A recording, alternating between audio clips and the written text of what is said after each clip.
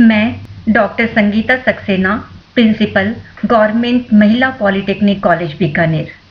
आज मैं video lecture के माध्यम से प्रथम वर्ष टेक्सटाइल डिज़ाइन के subject, introduction to textile, code संख्या T D one, two, three के यूनिट चार, definition of different type of fabric के बारे में बताने जा रही हूँ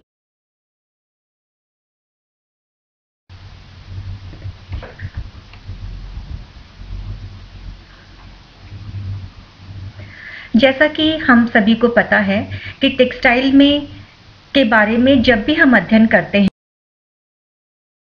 में डिफरेंट प्रकार के फाइबर और फाइबर से यान और यान से फैब्रिक बनाने के बारे में चर्चा होती है। तो इस टॉपिक के अंतर्गत हमें डिफरेंट फैब्रिक के बारे में पता करना है, जो कि सामान्यतः हमें प्रयोग में उसको प्रयोग करते हैं।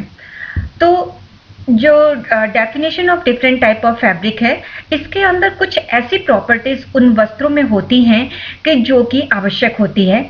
जैसे कि ब्रिदेबिलिटी यानी कि ब्रिदेबिलिटी का मतलब ये होता है कि उसके, उस कपड़े की क्वालिटी में ऐसा पोरस होना चाहिए कि ताकि हवा का अंदर बाहर और निकलना इजी हो सके। कपड़े का वेट है ड्रैप है ड्यूरेबिलिटी दृढ़ता सॉफ्टनेस उसकी कोमलता और उसकी बनावट, ये सारी चीज़ें किसी भी वस्त्र के लिए होती हैं। इस विषय के अंतर्गत मैं आप लोगों को बताऊँगी, टैफेटा वस्त्र, voile, organdy, chiffon, cambric, denim, poplin, rubia, lawn cloth, flannel. आज मैं आप लोगों को इस वीडियो लेक्चर के माध्यम से टैफेटा, वॉयल और ऑर्गेंडे वस्त्र के बारे में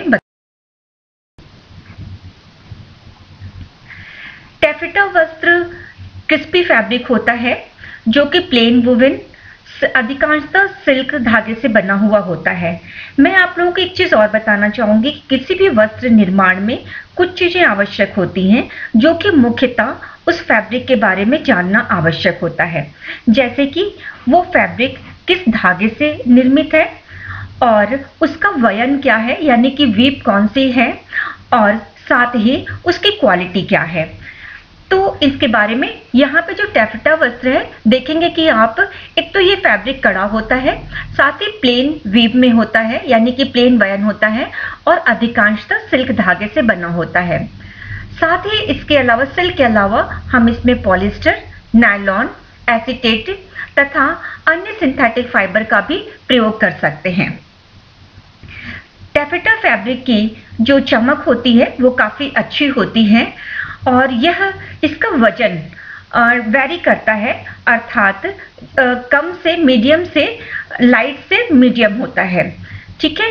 और इसकी जो शेयरनेस क्वालिटी होती है, यानी कि जो टर्न होने की क्वालिटी होती है, उसका जो लेवल है, वो फाइबर की क्वालिटी के ऊपर डिपेंड करता है और साथ ही जो उसकी वीव की टाइटनेस है, यानी कि उसकी फॉर्मनेस है, उसके ऊपर इसकी जो शेयरनेस क्वालिटी है, वो डिपेंड करती है। तो आप लोगों ने देखा कि जो मेनली जो चीज़ है, वो क्या था? टेफिटा एक तो सिल्क धागा होता है ज़्यादातर तो सिल्क से बना हुआ होता है प्लेन वुवन फैब्रिक होता है, ठीक है? फिर आते हैं कि ये इसका जो सबसे पहले प्रोड्यूस किया गया था, वो ट्वेल्थ सेंचुरी में मिडिल ईस्ट में इसका प्रोडक्शन शुरू हुआ था। यह है पर्शियन टेफटा शब्द से इसका डिराइव्ड हुआ है, जिसका मीनिंग है क्रिस्प ट्विस्टेड व्यून फैब्रिक यह टैफिटा सिल्क दो तरह से होता है पीस टाइट टैफिटा जो कि सॉफ्ट होता है, और अधिकांशतः इसका प्रयोग लाइनिंग के लिए किया जाता है। दूसरा आता है यान डाई टैफिटा यान डाई टैफिटा तुलनात्मक रूप से स्टिफ होता है और अधिकांशतः इसका जो प्रयोग है, वो इवनिंग ड्रेसेस के लिए किया जाता है। एक अन्य प्रकार का टैफिटा भी होता है, जिसे कि हम पेपर टैफिटा कहते हैं। यह एक्सट्रीमली थिन होता है, पतला होता है, तथा यह क्रिस्प होता है। Taffeta fabric plain weave fabric है। तथा यह single weft through thread going over and under a single warp thread कहने का मतलब यहाँ पर यह है कि इस टेफ्टा फैब्रिक में जो इसकी बुनाई होती है, वो सिंगल वार्प और वेब थ्रेड के ऊपर नीचे यानी कि अप एंड डाउन द्वारा तैयार होता है, जिससे कि check board pattern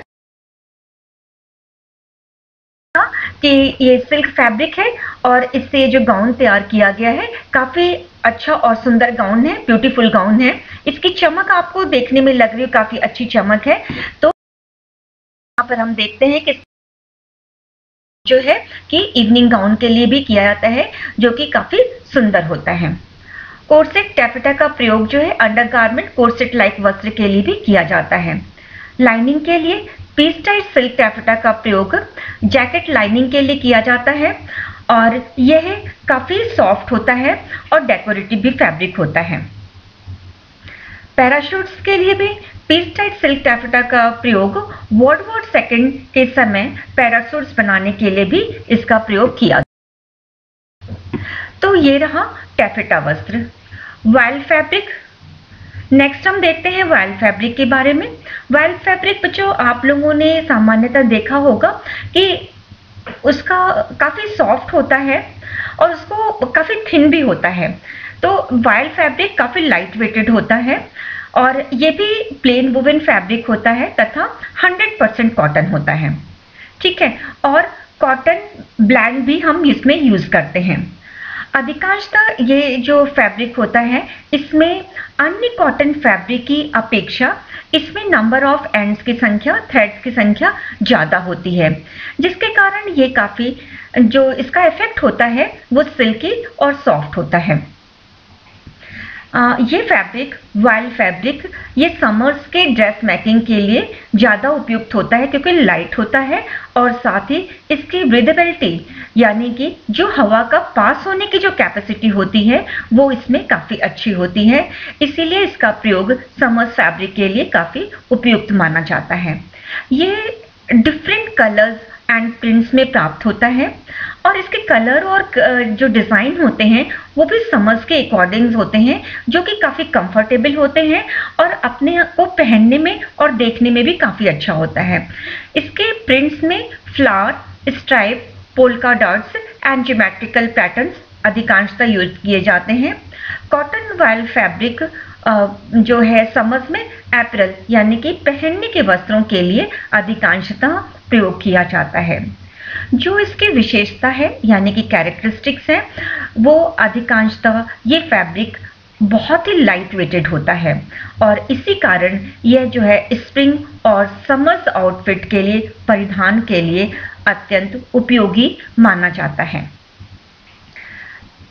Wild terms French word veil से आया हुआ है, जो कि 100 परसेंट कॉटन या कॉटन एंड लिनन ब्लैंड्स के द्वारा बनाया गया है। इसके द्वारा भी हवा, यानी कि जो ब्रिदेबिलिटी कैपेसिटी है, वो काफ़ी अच्छी होती है। और साथ ही जिस समय गर्मी बहुत ज़्यादा पड़ती है, उस समय के लिए यह वस्त्र बहुत ही कंफर्टेबल होता है यूज़ किया जाता है। फाइन टेक्सचर्स होने के कारण इसे लाइन गारमेंट्स के लिए भी हम प्रयोग करते हैं, यानी कि अस्तर के कपड़ों के लिए भी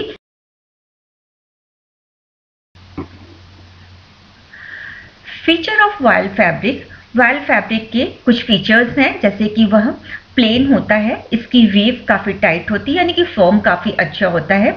सिल्की और सॉफ्ट फिनिश होता है। लाइट ड्रैपिंग होती है स्ट्रेच नहीं होता है।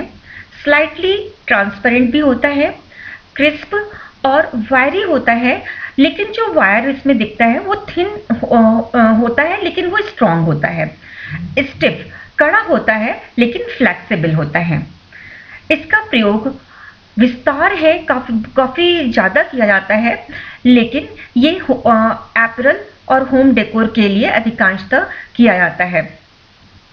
साथ ही इसका प्रयोग कई तरह से क्राफ्ट प्रोजेक्ट्स के लिए करते हैं, जैसे कि pillow case cushion covers doll dresses इत्यादि के लिए भी इसका प्रयोग किया जाता है।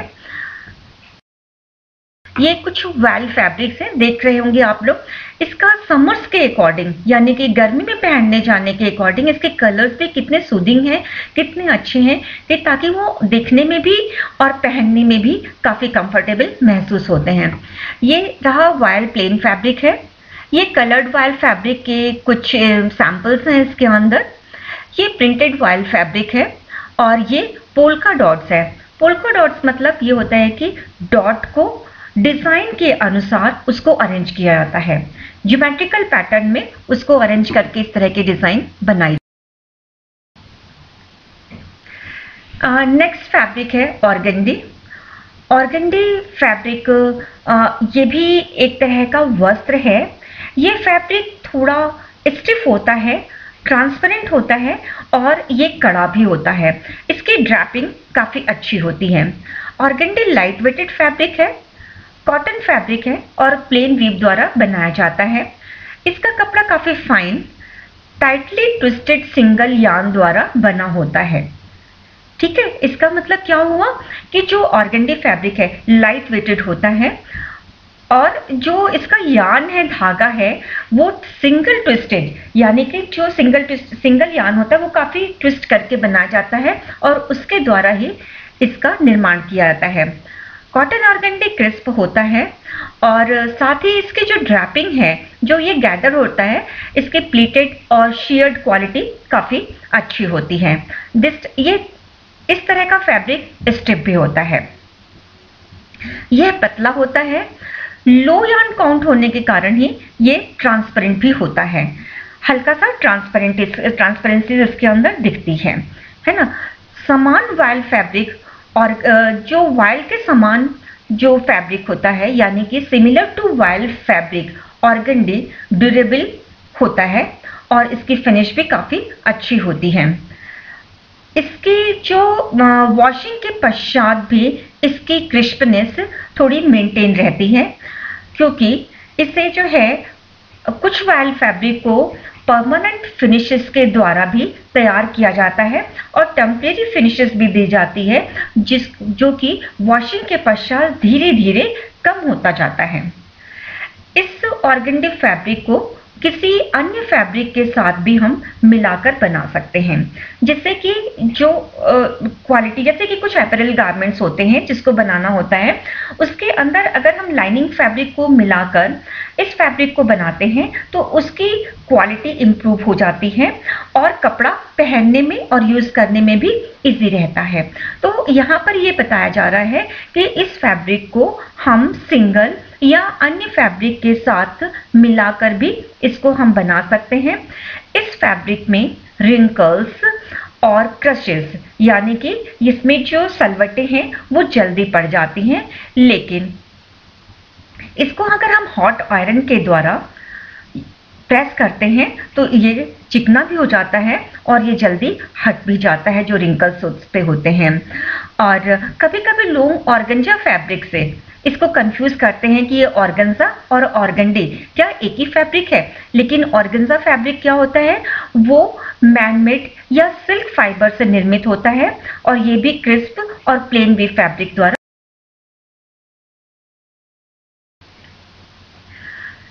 Characteristics of cotton organdy fabric यानी कि ऑर्गेंडी कॉटन ऑर्गेंडी फैब्रिक की विशेषताएँ क्या है? यह टाइटली ट्विस्टेड यान से बना होता है। यह स्टिफ क्रिस्प होता है। इसकी क्रिस्पनेस इसकी फिनिशिंग के ऊपर डिपेंड होता है। स्टार्च और कैलेंडरिंग के द्वारा इसकी फिनिशिंग दी जाती है। कभी कभी ये फिनिशिंग वॉश के द्वारा हट जाता है। परमानेंट क्रिस्पनेस के लिए इसको केमिकल फिनिश दी जाती है, जो कि परमानेंट इस पर रहता है। ऑर्गेंडी फैब्रिक में रिंकल्स जल्दी आ जाता है, अतः इसे रिंकल फ्री फिनिशेस भी इस पर अप्लाई किया जाता है। जिससे कि इसकी जो रिंकल्स हैं, वो परमानेंट रिमूव हो जाते हैं, नहीं आते हैं। Fabric transparent fine and shared होता है। इसका प्रयोग अधिकांशतः फर्निशिंग और गारमेंट्स के लिए किया जाता है। यहाँ पर आप देखेंगे ऑर्गेंडी फैब्रिक के लिए। ये प्लेन ऑर्गेंडी फैब्रिक है। इसकी स्टिफनेस आप देख रहे हैं कहीं भी इसके अंदर आ, किसी भी तरीके की रिंकल्स नहीं है। इसके प्लीट्स जो है कितनी अच्छी है यानी कि अगर हम इसमें प्लीट्स डालते हैं रिंकल्स तो आ जाते हैं यहाँ पे लेकिन प्लीट्स एक बार अगर डल जाता है तो खराब नहीं होता है। ट्रांसपेरेंसीज देखिए आप इसके पीछे का जो हाथ का टेक्सचर है वो इसके कपड़े के सरफेस पर से दिखाई दे रहा है। इसी ये तो रहा प्लेन फैब्रिक यहाँ पे फैब्रिक को सूट और दुपट्टा बनाया गया है। दुपट्टे जो सूट है सूट में हमने जैसे पहले आपको ऑर्गेंडी फैब्रिक में बताया, किसी अन्य फैब्रिक के साथ मिलाकर बनाया जा सकता है। तो यहाँ पर लाइनिंग के रूप में प्रयोग करके इस कुर्ता को बनाया गया है। और ये चुन्नी देखिए कितनी अच्छी लग रही है ऑर्गेंडी की, क्योंकि ये स्टिफ होता है और दिखने में भी अच्छा रहता है, इसके प्लीट्स जल्दी बिगड़ती नहीं है। तो ये रहा ऑर्गेंडी प्लेन फैब्रिक और सूट और दुपट्टा फैब्रिक। तो ये रहा, आज हमने आप लोगों को तीन तरह के कपड़े के बारे में बताया, जो कि टैफिटा, वायल और ऑर्गेंडे। तो मेरी समझ से आप लोगों को अगर मार्केट में जाते हैं कपड़ा देखने के लिए तो पहचानने में एक बार आप उसको देख के समझ सकेंगे कि ये किस तरह का फैब्रिक है और किस तरह के वस्त्र निर्माण के लिए किस तरह के फैब्रिक का प्रयोग किया जाना उचित होगा। अतः आप लोगों को चयन करने में काफ़ी सुविधा होगी। Thank you very much